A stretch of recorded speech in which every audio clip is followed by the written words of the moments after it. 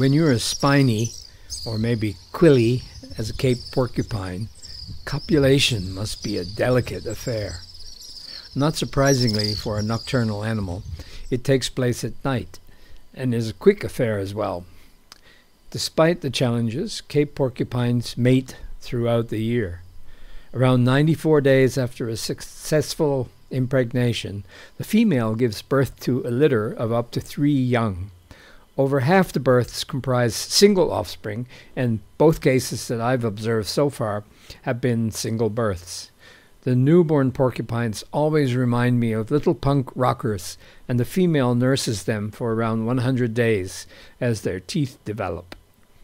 An interesting fact is that Cape porcupines are the largest rodents in Africa and the world's largest porcupine species. Cape porcupines are monogamous and generally live as a mated pair of adults, caring for their young together.